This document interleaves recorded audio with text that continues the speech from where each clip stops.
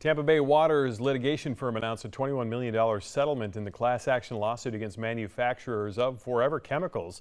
And tonight, 8 on your side is digging into what they found and what that money will be used for. News Channel 8's Nicole Rogers joins us now live in Tampa with the very latest. Nicole.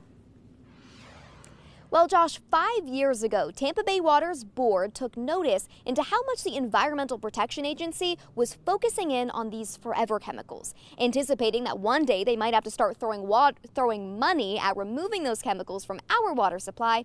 They decided to join the lawsuit. We have found some sites that are about at, at, at, right at the level that is going to be the cap starting in 2031. Tampa Bay water officials say PFAS, also known as forever chemicals, are man made compounds widely used since the 1940s.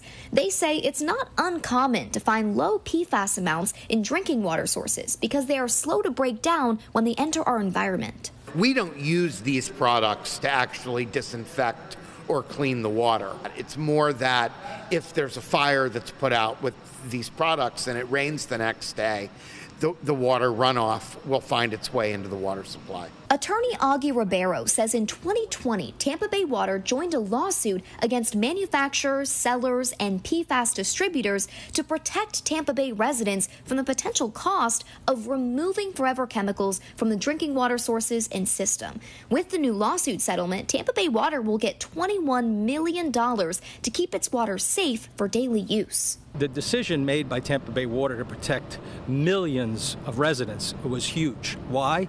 Because they were on this issue. They've been transparent about this issue. Tampa Bay Water helped lead the national settlement and a national awareness. 3M, a settling defendant in the lawsuit, sent Eight on Your Side a statement saying in part, quote, this agreement will benefit public water systems nationwide that provide drinking water to a vast majority of Americans without the need for further litigation by or on behalf of public water systems. It also says further, 3M announced at the end of 2022 that it would exit all PFAS manufacturing by the end of 2025.